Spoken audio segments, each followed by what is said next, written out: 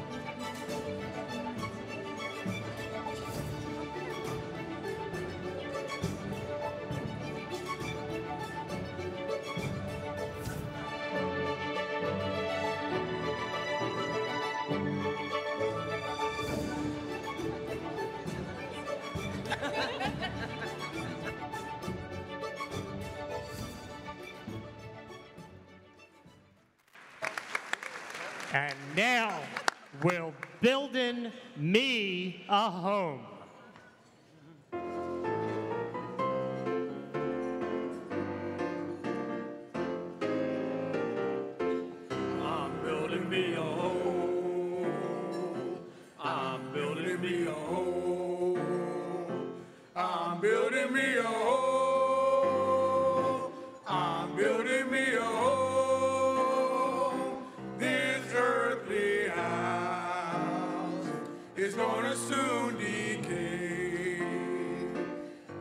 Soul's gotta have,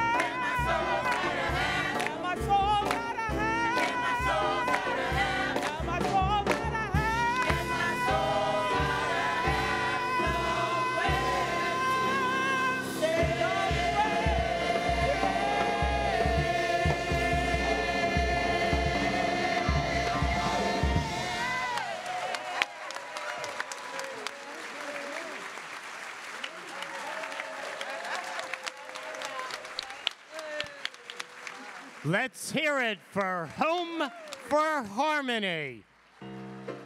Our Temple music students and conductor Paul Raridan, who arranged this piece for tonight. The members of the choir come from the whole Project Home community residents, staff, and family.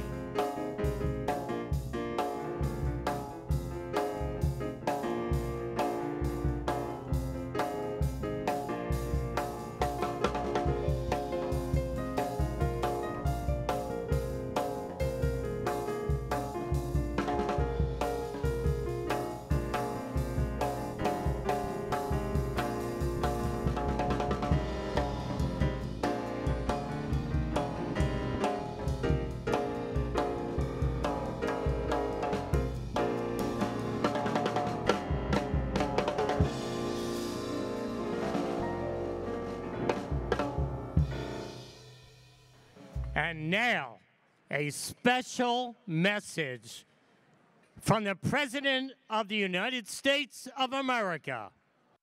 Hello, Philadelphia. I married a Philly girl, and I know even Philly nuns are as tough as nails. Sister Mary is Philly. She protests wrongs and makes them right. People call her a powerhouse, a street angel. She and Joan will always walk a mile in the shoes of the forgotten and left behind. You know, we all first met on Amtrak, back when they were getting started on their mission to give folks just a little shelter, hope, a fresh start, a fair shot, a good home. Project Home was a model for the nation, and my administration is right there with you, Sister Mary. Sister Mary and Joan lived the lessons of faith that the nuns taught me growing up honesty, decency. Everyone's your equal, and everyone's entitled to be treated with dignity and respect. We look out for one another. We leave no one behind. You're the best of Philadelphia and the best of America. May God continue to bless you, Sister Mary and Joan.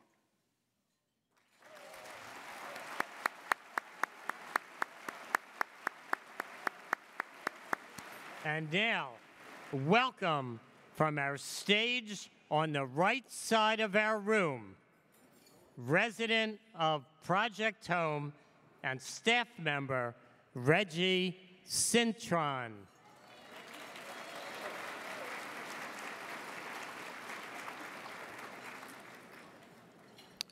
Good evening, everyone, and welcome to the Project Home 35th Anniversary Gala Celebration.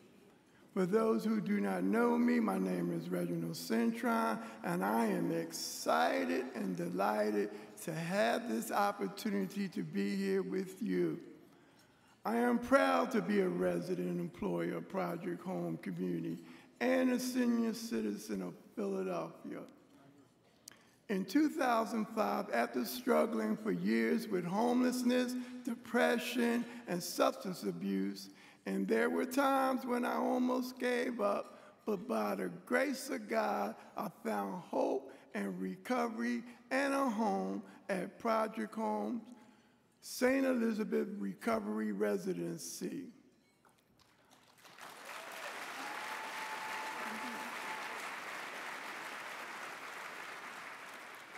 As I moved forward towards my new way of life, I was welcomed with open arms.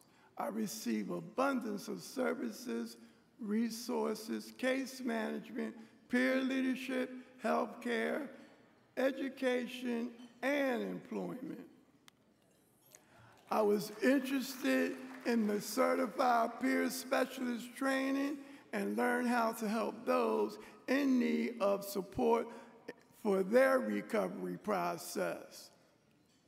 Today, I am a support staff part-time at Sacred Heart Recovery Residency, a wonderful facility that you will hear about later.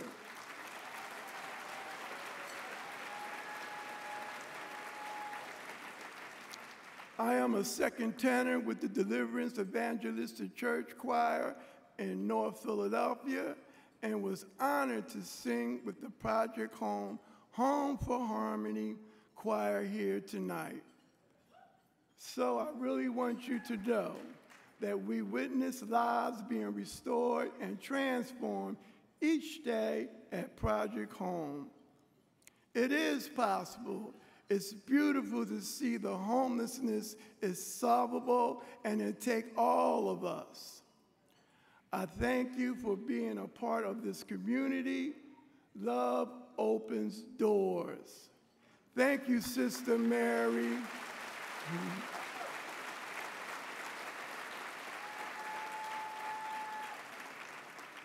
Thank you, Sister Mary, Scullion, and Joan Dawson McConnon, and the Project Home community. I am so grateful. I now have a special surprise for everyone. Please join me in welcoming the 48th Governor of the Commonwealth of Pennsylvania, Josh Shapiro, to the stage.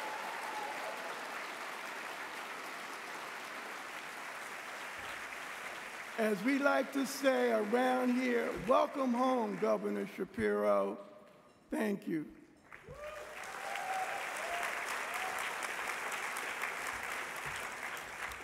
Hey, Reggie, thank you so much for sharing your inspiring story. Thank you for letting us be part of your journey, and thank you for the warm introduction. It is an honor to be here with all of you. And I want to begin by thanking the incredible co chairs who have made tonight possible. I want to thank John Bon Jovi, who's in the house.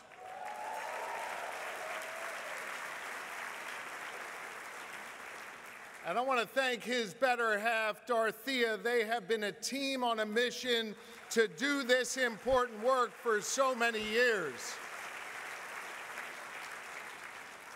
And let me give a special thanks to our other co chairs, Leigh and the soon to be first place Phillies owner, John Middleton.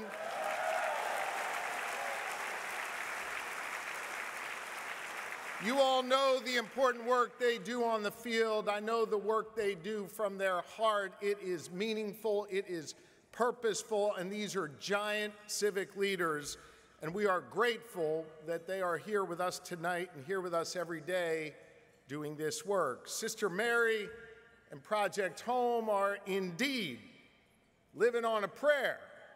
And they got a whole lot of fight in them, PH fight. I hope you see what I did there, right? I want to thank our presenting sponsors. I want to thank Pam and Ira for their meaningful contributions and support. They've provided so many blessings here at Project Home and in Philadelphia and all across this great Commonwealth. I'm, of course, proud to join them and so many others here tonight, from President Joe Biden to to so many elected leaders from across the city of Philadelphia and Pennsylvania, and community partners and others who make sure that they invest in or help Project Home in so many impactful ways.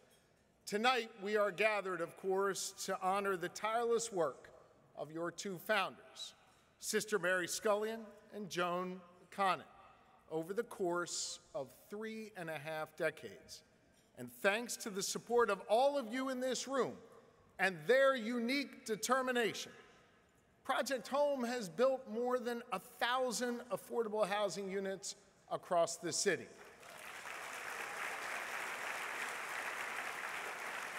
A thousand places where people now have roofs over their head and the dignity that comes from being in a home. They've developed a nationally lauded model to break the cycle of homelessness, providing permanent housing, education, medical care, job opportunities to lift up our fellow Pennsylvanians who are in need. I've been privileged to know Sister Mary for many years, and I've been honored to observe her work for many more.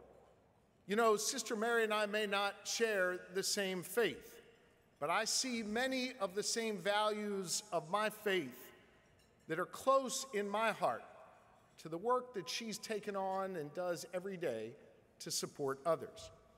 My own faith teaches me that no one is required to complete the task, but neither are we free to refrain from it. Now, I'm not here to preach at you, especially with Sister Mary in the house. But I am here to say I think that is a universal message that each of us has a responsibility to get off the sidelines, to get in the game, and to do our part. Sister Mary has embodied that teaching every day. She has left an indelible impact on this city and our Commonwealth. I admire the way she and Joan draw strength from their faith to take on big challenges.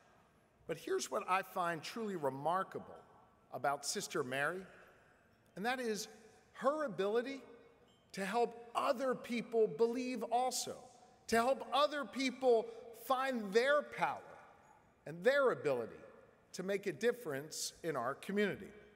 There's so many intractable, intractable problems in society today, so many that feel so big and so overwhelming that it's hard to know where to start to even solve them. And despite their best intentions, many people, well, they get discouraged by the complexity of problems, and so they turn away.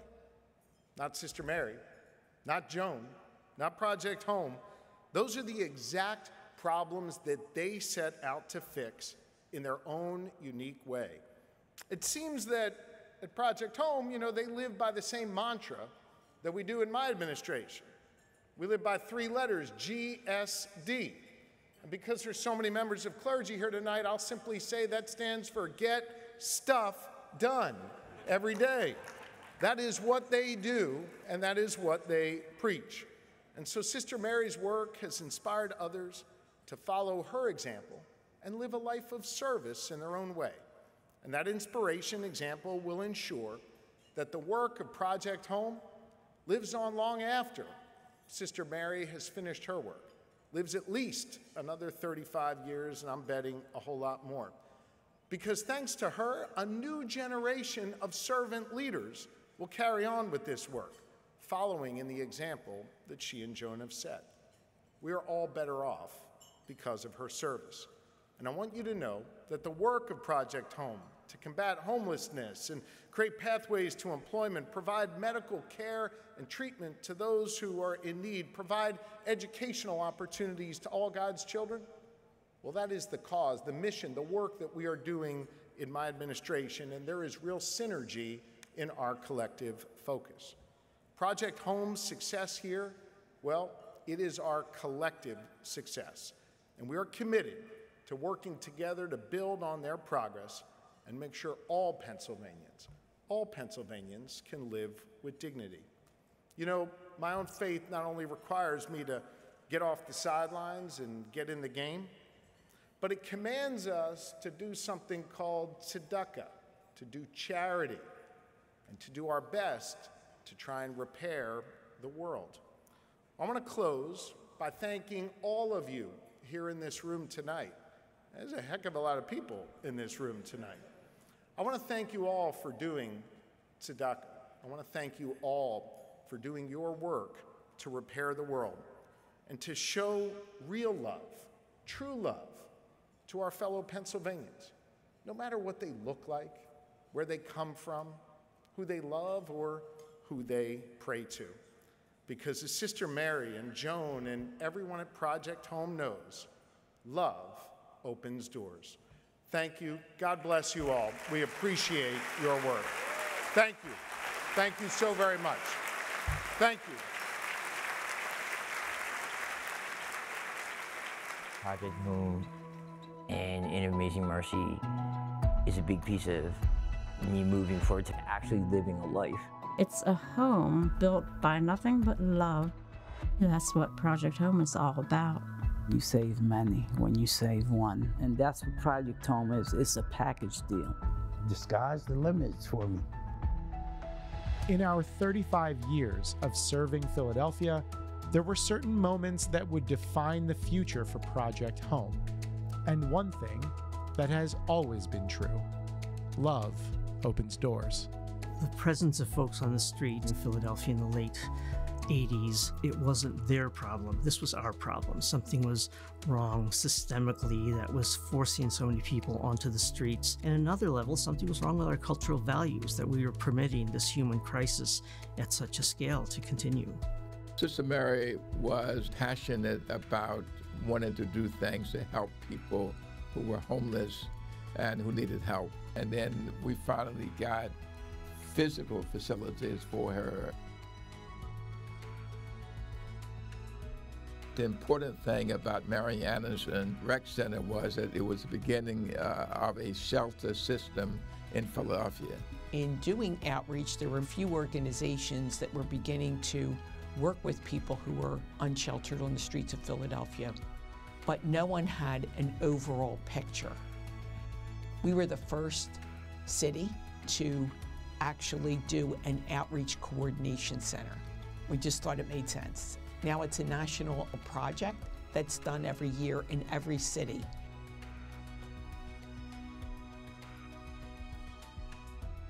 We had been struggling to open 1515 Fairmount for a while already. There were a lot of powerful folks in the city of Philadelphia who did not support us building 1515 Fairmount Avenue. Turned into a much deeper struggle that lasted five years, both in the courts and in the streets. In the Fair Housing Act, it was unclear whether the shelters were covered under it or not. This is bigger than just this building. This is a basic struggle for human rights, for civil rights, for fair housing. Together with the Department of Justice, Project Home sued the city and won. This victory clearly impacted um, homelessness nationwide. This really helped to provide a legal address to uh, facilitating building housing everywhere because this is the United States of America. We're supposed to be able to live wherever we want to live. Decades later, when we went to build the John Bon Jovi Soul Homes right down the street, and the neighbors who seriously opposed us in the 1990s came out in support of that project. And so to me, that's the power of relationships, the power of transformation, which is the Project Home story. When we came to the 9121 neighborhood, we met with community leaders, talked about what did the community need, what was their vision. The community, led by Helen Brown, Chris Whaley, and Priscilla Bennett, identified education and healthcare resources as important needs. We now have a state of the art education center for the children in the neighborhood. We developed the Stephen Klein Wellness Center, which is integrated healthcare, healthcare without walls, both wellness services as well as primary care, behavioral health, and dental. And the Honickman Learning Center Comcast Technology Labs continues to this day to be a beacon of light and opportunity and has led so many people, both children as well as adults, to education and employment. We started a youth employment program a number of years ago, giving a lot of the children who are mostly high school summer jobs where they can learn how to operate in an office environment. There's so many children that has come out of the after school program that have gone on to do some wonderful things. I don't have words to explain what it has done for the community. That was the beginning of HOME. We saw the importance of housing, medical care, education, and employment. Through that work, prevented folks from becoming homeless. We know that homelessness is bad for neighborhoods. It's also bad for people who are homeless. So why don't we look at how we can solve it together? These kind of solutions ultimately cost less to taxpayers. And business folk heard that a little bit better than politicians. That had a big impact over the years when business people would come and say, you know, Sister Mary's project, it actually could be very good. So the Empower partnership was a game changer for Project Home. Prior to that partnership being formed through the vision of Leigh and John Middleton, we were a developer through opportunity only. We were very limited in our ability to build a pipeline. This was a very different kind of private outreach to private philanthropists than what they had done before. Uh, really broadened the base of, of giving. And that was, I, that's been the most rewarding thing is to see the people who, who've come in and to see their reaction as their money is put into good use. I'm really pleased to be able to say that after all these years and all this effort, we have 25 partners in Empower, and collectively we have contributed upwards of $100 million in private philanthropy, which in turn has been leveraged to over $250 million for the cause. What a real concrete difference Sister Mary and Project Home have made in this city. When we get involved in healing our society, our community, and seeking to be part of a transformation of the lives of people who are very publicly and seriously broken and wounded, we are all being transformed. And every time we witness somebody come home, we feel a little bit more home ourselves.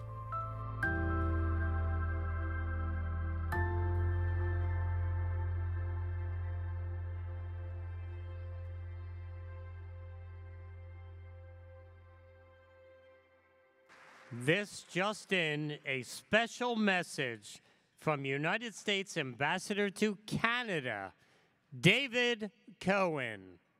Capturing what Sister Mary has meant to the city of Philadelphia and even to the nation is not easy. So I'll start with the headline, which is she's had an absolutely transformative impact on our city and on the nation in terms of the way in which we think about and handle homelessness. When she and Joan started out together, they were operating a small winter shelter in South Philadelphia. Today, Project Home is a more than $50 million a year enterprise with over 1,000 housing units in 19 separate projects, controlling a million square feet of real estate and positively impacting the lives of thousands of homeless individuals in Philadelphia. The power of Sister Mary, though, goes beyond the numbers and the numbers of people that she's affected. It's the innovative approach that she brought to homelessness. It was that innovative approach, as well as the impact, that caused Time magazine to name her one of the 100 most influential people in the United States in 2009. Not a lot of nuns who've gotten that recognition, and there certainly aren't a lot of homeless advocates that have received that recognition. So I've had a long and almost always positive relationship with Sister Mary. Um, when I first met her, I was a relatively new chief of staff to Ed Rendell as the mayor of the city of Philadelphia. Um, as is her as is her way, um, Sister Mary decided that she needed to demonstrate against the mayor and against the city, um, and in doing so, she showed up in on the second floor of, of City Hall and planted herself outside my office. That would have been fine, but that wasn't good enough for Sister Mary. Um, she decided to chain herself to my door. I was in the office at the time, which meant I couldn't get out of my office, um, and she wasn't leaving. And had multiple conversations over the phone um, with the with the with the police commissioner, um, who said the only way we're going to get rid of her is we're going to have to remove her. So I waited a long time and he kept bothering me. And I said, okay, go ahead. Um, and so that leads to my most famous Sister Mary story, which is that the first time I met her, I had her arrested. Had her arrested for chaining herself to my office door. And it was the beginning of a great relationship because I became one of Sister Mary's most fervent fans and we had, and I, it was my honor and my privilege to have a chance to work with her in battling issues relating to the homeless, food insecurity, um, and a whole, a whole host of issues relating to poverty in the city of Philadelphia. Congratulations, Mary and Joan, and thank you for everything that you've done.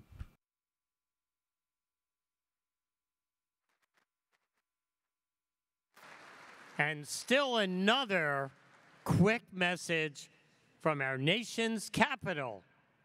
our representatives Dwight Evans, Brendan Boyle, and Mary Gay Scanlon together.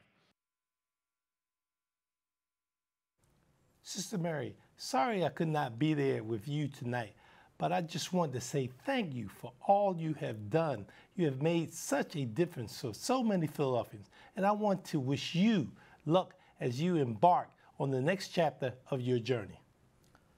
Sister Mary, you have left a profound impact on the lives of the least, the lost, and left behind. Your compassion, dedication, and tireless efforts over the decades have been nothing short of extraordinary. You've provided a true beacon of hope and compassion for Philadelphia's homeless community. Thank you. Sister Mary and Joan, your service will forever be cherished, and you have left an indelible and compassionate mark on this city. My family will be forever grateful for the opportunity to get to know Sister Mary and to start participating in the work of Project Home way back when the Women of Hope shelter opened around the corner from our house. And as Sister Mary likes to say, None of us are home until all of us are home.